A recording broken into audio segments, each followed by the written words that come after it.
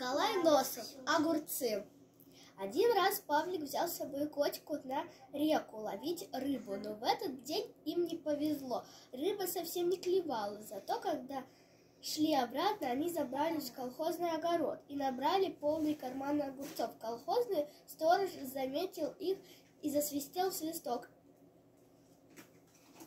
Они от него бежат по дороге. Домой Павлик подумал, как бы не досталось за то, что он лазит по чужим огородам. И он отдал свои огурцы котике. Котика пришел домой радостный. «Мама, я тебе огурцы принес». Мама посмотрела, а у него полные карманы огурцов. И за пазухой огурцы лежат. И в руках еще два больших огурца. Где же, где ты их?